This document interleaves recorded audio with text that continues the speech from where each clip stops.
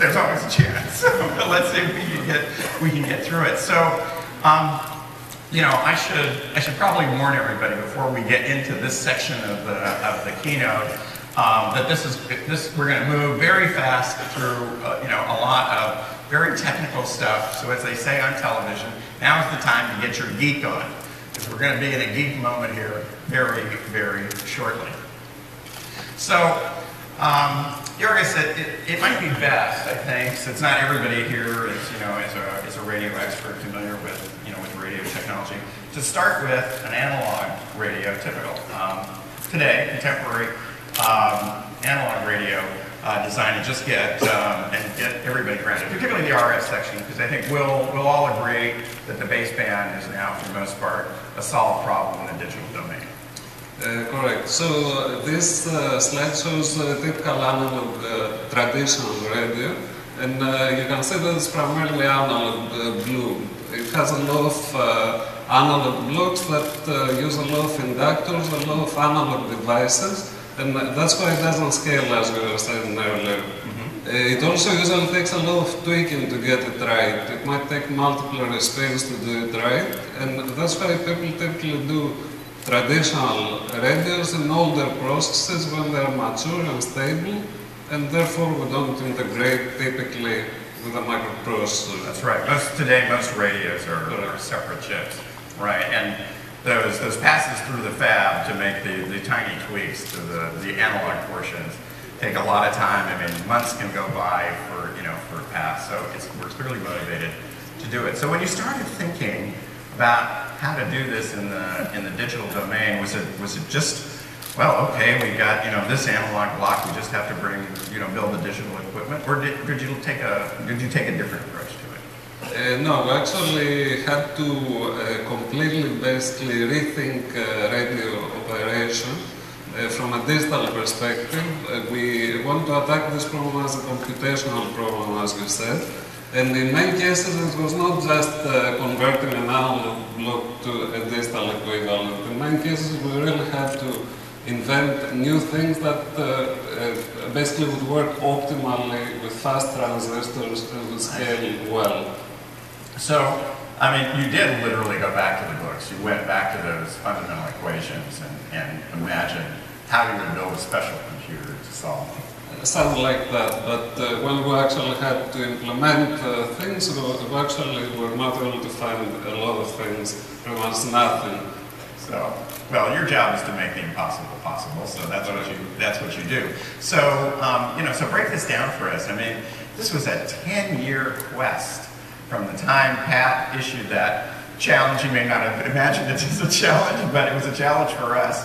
Uh, you know, how did you, you know, tell us how you went about doing it. Tell us the story. I mean, this is this is really exciting moment. Yeah, it was a monumental effort because, as we said, we really had to build this uh, capability from the ground up and really rethink the fundamentals of radio operation. Uh, now I will uh, discuss a couple of blocks here. We don't have time for too many uh, blocks, but we'll specifically focus on two of these blocks. Uh, we'll start with the digital frequency synthesizer, which is one of our best, uh, first uh, important results. Okay. so when we did the digital frequency synthesizer, that was the only integrated frequency synthesizer that could do Wi-Fi and 4G uh, specifications. Uh, so at that point we realized that we, were, we had something. Uh, it was digital and it was the only one that could do it. So I remember, I remember these great internal debates. I remember making a trip to Israel where I got yelled at by engineers of, you know, all races, colors, and creeds. And, you know, you guys are crazy and this will never work, and, and on and on. It so, takes time. It's so different from what we're used to yeah. next time to actually. Yeah.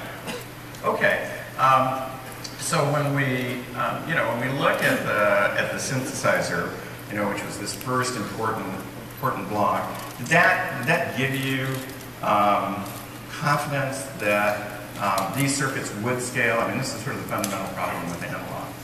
Uh, yes, uh, we had the feeling and the intuition that things will scale, but uh, we actually confirmed these feelings in the process of the years, and we see here Uh, a couple of examples from actual fabricated digital synthesizers. And you see going from 90 nanometer generation to 32 nanometer, dramatic scaling in the area of uh, the digital synthesizer and also the power dissipation. And we predict that things are going to continue uh, going to 14 nanometers, for example. Yeah, so this must have been a big boost in, in confidence. Yes. Okay, let's, let's take another block. Uh, so one of the last blocks that uh, came together was the digital phase modulator. This is a key part of our uh, digital transmitter architecture, this different transmitter we developed. Uh, so digital phase modulators, they existed before. In fact, uh, Intel's uh, cellular division, uh, they have. Intel mobile communication. Uh, they have a digital phase modulator in uh, a cellular part. Uh, they, they published it recently in a product. Uh, but uh, that works for, uh, it is targeted for 3G operations, so it is smaller bandwidth, up to 5 megahertz. The Uh, narrow channels. yeah, so in our case we have to deal with a much wider channels that are required for Wi-Fi. So our system was designed up to 40 megahertz uh, Wi-Fi operation. So we really had to, again, come up with a lot of... So I, I recall uh, asking this question in review once. I said, I said, this sounds like it's going to require some new mathematics, not found in the textbooks. It requires some very creative uh, mathematical manipulation, of course, that was definitely... You put it so definitely, mathematical manipulation. All mathematics is manipulation. Okay, um, so, um, you know, now we've got all the blocks. Can we build the radio? Yes, we actually also have the complete radio. Okay. Uh, this is the, the first complete digital Wi-Fi radio that we have developed. Uh, it operates up to the, the more demanding uh, Wi-Fi requirements, the, the 40 megahertz bandwidth. Uh, it has been implemented in a 32 nanometer Intel process, uh, and it is already the power of efficiency is on par with uh, the best analog designs that we could find in the literature. And uh, we know that our radio will keep improving because there's all flip-flops, transistors, switches. Well, we know that other radios are actually not going to improve the analog radios, so we expect that this is going to become better and better moving forward. It's already on par. I've waited 10 years for this moment, Yorgos. Can we see the radio? Yes. Okay. So, uh, this is our transceiver board uh, here that you see, and uh, we're zooming into the actual uh, uh, digital radio here in the middle. So Uh, all of these are test connectors. That, that's the chip itself. yeah, the black one. Middle. So the output of our digital transmitter comes here to this, uh, to this cable to this transmit antenna. It's been transmitted to the other side, uh, receive antenna, our receiver. Uh, this is the same transceiver, digital transceiver operating in the receive mode on this side. So, I mean, this might be, we can think of this as sort of the access point, and that's the client end at that. Transmitter receiver. Yeah, okay, but same chip, Yeah, and is the configuration chip. right? Okay, so uh, I know you got all this test gear here, but best in the interest of time that we just look at the application you, you have running. Yeah, we have uh, this. Presently, uh, this meets all of the specifications that we've been talking about, but let's just look at the app running. Uh, we have a video streaming right now. It's a good quality video uh, going through our system over this entire link. Okay, um, but how do we, how do we know you aren't faking this? Uh, you can uh, try to block the antenna signal. Okay, come over here. Now it is going to take a few seconds because there is some buffering and encoding in the system to actually stop.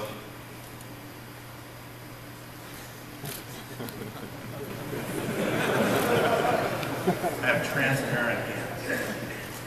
It is very good that encoding. It works. All right, two hands. Now you have to wait this the slow part. And stop. Okay. I wouldn't work so hard. we were faking it. Okay. So there you go. First all digital Wi-Fi radio, 10 years from Pat Chow's to today. Now, actually, I should check that. Pat didn't just ask for a digital radio. He asked for a digital radio that you could integrate on a chip with other compute elements, blocks, memories, registers, I/O. What about the You still chip? remember that, okay? So here it is for you. So this is actually radio free. So this is uh, Well, test not so free radio. Uh, this is a research test sheet we developed. It's uh, called Rosepoint. It's a 32 nanometer, first SoC that integrates a Wi-Fi uh, radio together with two Atom cores and all the other required uh, digital circuits. So two atom cores and the radio. Okay. Well, Pat, wherever you are, radio, not so free, Intel. All right, that's just uh, that's just terrific, terrific, Yorgos, and and and really, uh, you know, I kind of get choked up here if I let myself go. Uh, it's so great to see it. So, um, so you know, what's what's left to do? What's next uh, on the agenda? Uh, primarily taking this radio to uh, productization, uh, we're developing the technology pieces uh, Yeah. so other people have to. Now, you know, while, while it's, you know, nearly completely digital, right? Aren't there one or two analog elements still, still left? Uh, There are a couple of small things here and there. There are a couple of things that will always be analog. For example, the output of the power amplifier is an analog signal. Uh, but there are a couple more things that uh, we can keep improving. For example, we can put a little more data conversion, a few more bits in the receiver that can further uh, digitize the receiver. Okay. Sounds good. Well, thanks, Yorgos. It's just been great. Thanks for being with us today. Yorgos, come on.